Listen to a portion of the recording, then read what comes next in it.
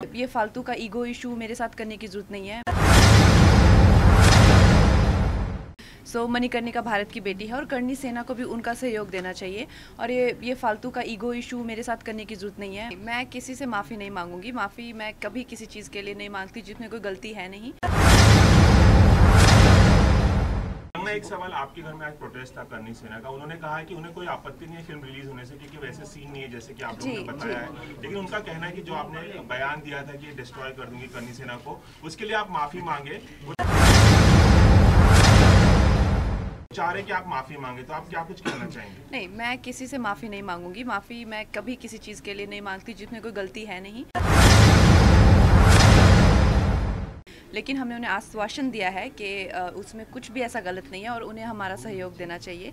और फ़िल्म को जो है वो वो करना चाहिए बिकॉज़ वो हमारे भारत की बेटी है तो सबको मिलकर उस फ़िल्म को जो है आगे बढ़ाना चाहिए। वो सिर्फ़ मेरी कोई रिश्तेदार नहीं है, वो पूरे पूरे देश की, वो मेरे लिए वही है जो हम सब के लिए है।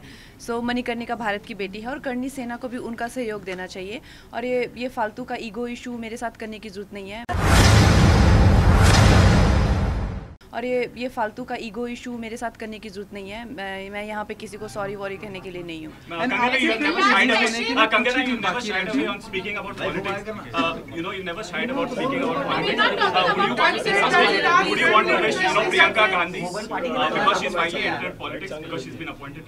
What is your question? क्या आपकी फ़िल्म भी रिलीज़ होने कुछ ही दिन बाकी रह गए वेल well, उनके लिए देखिए मेरे लिए बहुत ज़रूरी था कि ये फ़िल्म एक इस फ़िल्म का मनोरंजन के साथ में एक मायना हो।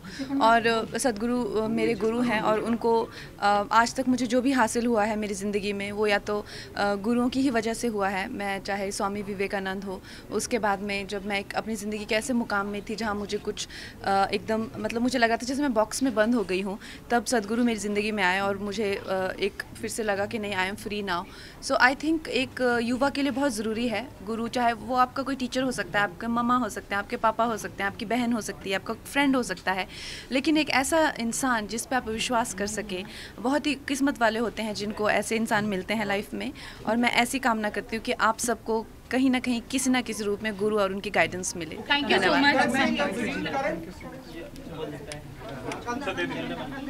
धन्यवाद।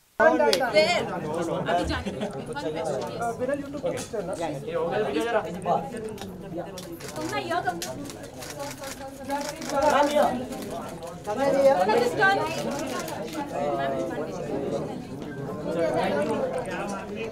अश्विनी